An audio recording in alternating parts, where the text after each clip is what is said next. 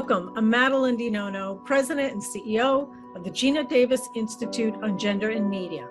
Before we begin, I would like to acknowledge that in Los Angeles, California, I am currently on the traditional lands of the Chumash peoples. I want to recognize that we are all connected with one another and that the ground beneath my feet is historically the home of Indigenous peoples. I'm so honored to be with you today, and I want to thank Congreso Futuro organization, the Senate of Chile, and the Ministry of Science of Chile, Nuestra Voz, FEF, and the BHP Foundation. Today is all about providing you perspectives on what's happening in popular content and digital spaces, and I'm very excited to share recent insights from our new research and best practices for diversity, equity, and inclusion. So let's get started. So I wanted to tell you a little bit about the Institute in case you may not be as familiar with who we are. And the Institute was founded uh, in 2004 by Academy Award winning actor Geena Davis. And it was born out of her observations as a parent of very young children. And what happened is, uh, when she started having her children, like any parent, she started watching children's content.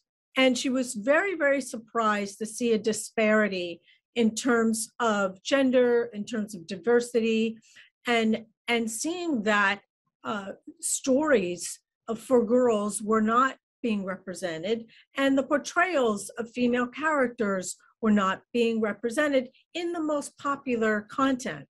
And Geena thought it was odd in the 21st century that we weren't showing boys and girls sharing the sandbox equally.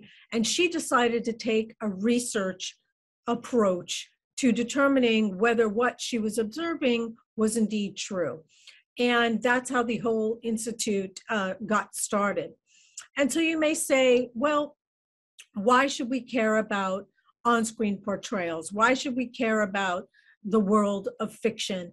And there's a social imperative, which I believe uh, we are more aware of, and then there's a business imperative. And so, for example, simply women and girls are 51% of the population, but our content, our digital content, uh, is bereft of female characters and historically has been a ratio of three to one characters in terms of male characters outweighing female characters. And this goes all the way back you know to the 40s when we think about and particularly given uh, covid and omicron we're consuming more media than ever and we're allowing our children to watch more media than ever. Children are engaging with media and multiple devices seven hours a day. Media consumption also impacts mental health. We've also seen a dramatic increase in mental health issues, particularly uh, with what's been happening, you know, in in our world, and that can lead to depression and many other things. And we've also seen that the sexualization of women, you know, in media can be tied to eating disorders and low esteem. Now, when it comes to the business imperative, you're all business leaders. You know, we know that uh, consumers and audiences will reward, you know, content that is diverse. And whether it be ratings, whether it be, you know, box office, uh, you know, we did a benchmark study that showed uh, out of a study of the largest grossing family films over a 10 year period that female centric films generated 55% more at the box office, and that films that had diverse casts were making the most money. So, what I have for you today is actually a mixture of, of two studies. Uh, our first study is uh, state of the industry for television in the United States. And given all the changes in digital consumption, digital devices, how we're watching, what we're watching, how much we're watching. We wanted to look back. So we looked back at, you know, five years of television from 2016 to about two, to 2020, and we looked at the 10 most popular uh, TV shows. And you know what we you know found is that on a positive note, uh, screen and speaking time for female characters actually you know has gone up.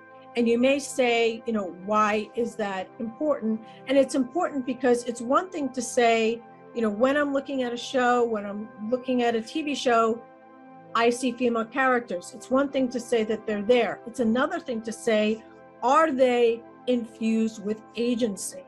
You know, are they at the center, you know, of a story? So having equal screen and speaking time um, is very, very important to us.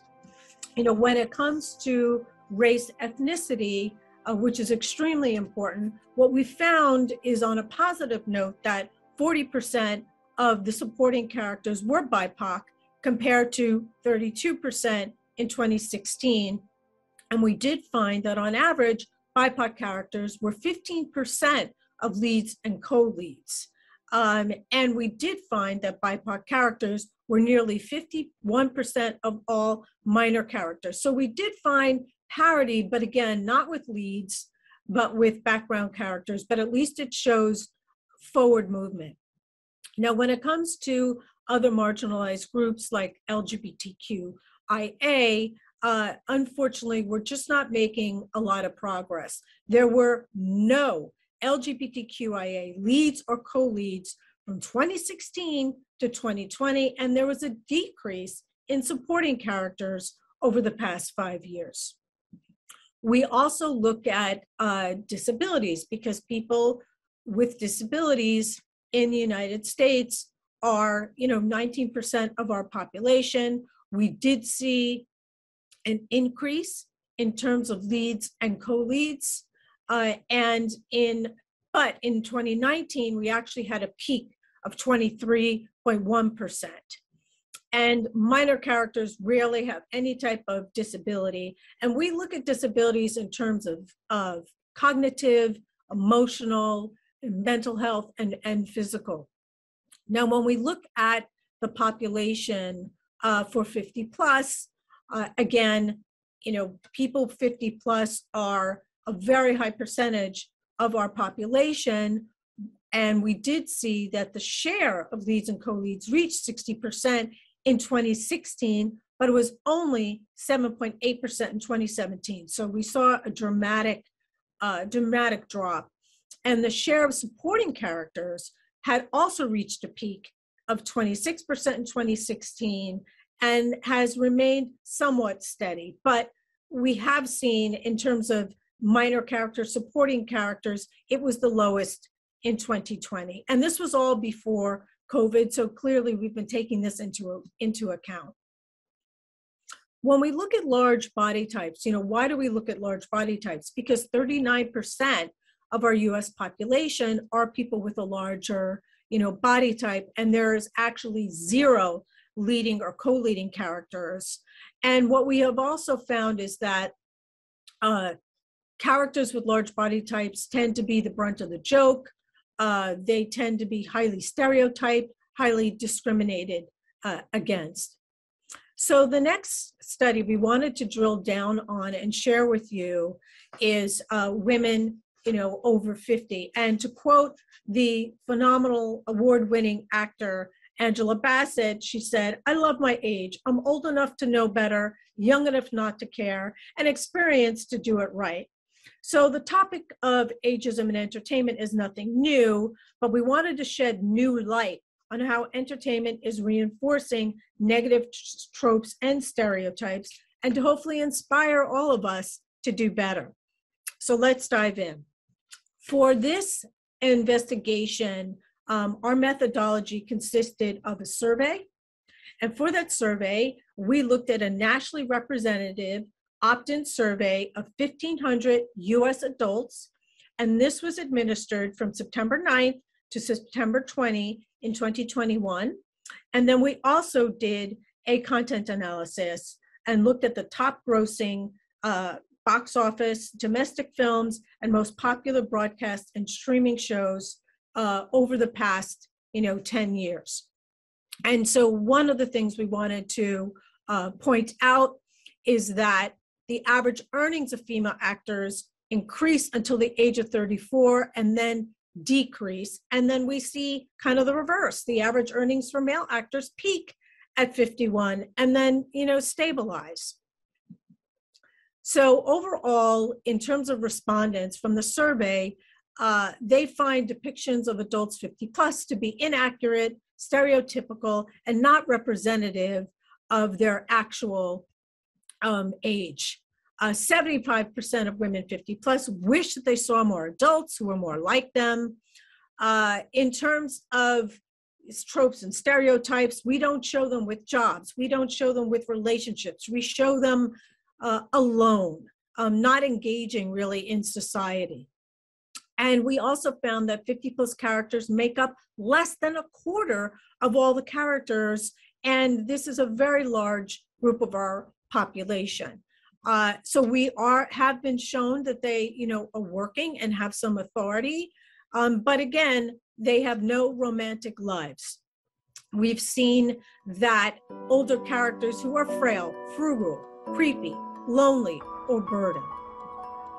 93% of leading film roles for characters 50 plus that went to men, and 81% of leading TV show roles for 50 plus characters uh, were occupied by by men. So there's huge gender, you know, disparities. And in terms of recommendations, you know, clearly we need to measure progress over time. And even if you're not producing TV or film. I mean, this goes into images that you may show on your website, a language that you may use for job applications, images that you may depict about your company or your products or your services. And it's really important to think about all types of underserved communities people with disabilities, the LGBTQIA community, uh, people with you know disabilities so that's all I have for you today. And if you want to see more about our research, please go to www.seejane.org. Thank you so much.